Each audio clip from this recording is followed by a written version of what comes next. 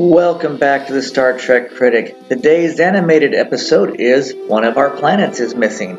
The Enterprise gets inside a dangerous space cloud, which is really a giant living organism. This is a great show to teach kids that communication is the way to go.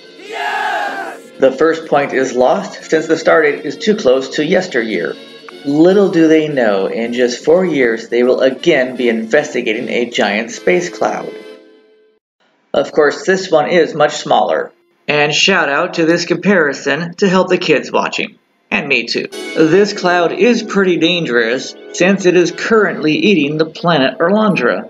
Shout out to the animated scanner the next point is lost since they are going to the planet Mantilles at warp 8. That is too fast since they are too close to that planet. Spock wants to know if the cloud knows to skip the inhabited planets. Kirk and McCoy debate if warning the planet will cause more panic than just save lives. The governor is Bob Wesley, who was in The Ultimate Computer, but it's James Doohan's voice. And we are now up to two eyes. Spock talks about chemical identity sensors. The animated series went all out on technical terms, which really aren't technobabble. That's four eyes. And now that the cloud swallowed the Enterprise, Spock does real technobabble. Kirk believes to fire first and ask questions later. Look closely, McCoy is standing next to Kirk, and now he's gone, so minus one point. Here comes the cloud's mitochondria in the stomach to eat the Enterprise. Yes! Scotty speaks the fifth eye. Aye, aye, aye, the antimatter charge saves the day. Spock figures it out. Dr. McCoy says those things are going to eat them if they drop the shields. The show's title says a planet is missing, but Alondra just keeps getting smaller. They didn't mention any other missing planets either. Now for a Star Wars scene wipe, here is Robert Wesley from The Ultimate Computer. He can only evacuate some people, so he saves the children. That's age discrimination. Kirk wants their help and says for them to do a drug I test. your help, gentlemen. Your analyses? Spock compares the cloud to a bull grazing in the field. Grazing here and there in the pasture of the universe. Here is a map of the cloud. They conclude that it has a mouth and a digestive system, and they could just get pooped out. But McCoy says they aren't going to make it. Kirk decides they are going to poop themselves out. This is obviously a little kid's show. This is I 6 and 7. And here we're just going to enjoy looking at the special effects of 1970s cartoons.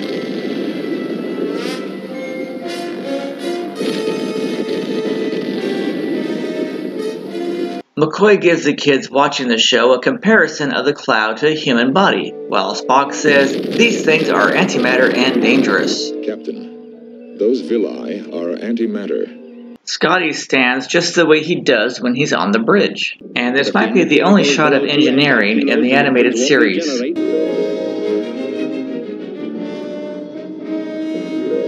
The next point is lost, since you can see smears on the glass plate the Enterprise is on. Scotty suggests catching the antimatter outside to power the ship. This episode is a lot like the old movie Fantastic Voyage.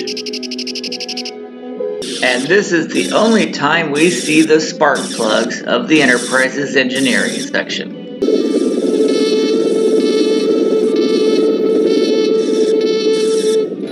Scotty. Scotty saves the day. Yes! Kirk wants to know where the brain is.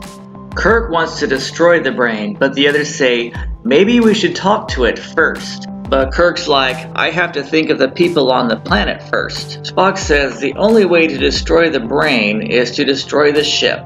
And here is the eighth eye, and they can only evacuate 5,000 kids out of 82 million people. But his 11 year old daughter stayed behind. Aww. Kirk says maybe we can do a Vulcan mind touch. Spock says that's impossible unless you touch it, but he can reach it with his mind, which is what I think Kirk had in mind. Spock uses his yoga pose to communicate with the cloud and Spock is successful in making contact with the cloud. Many somethings. The animated clock looks just like the original. Spock says, let's do a switch.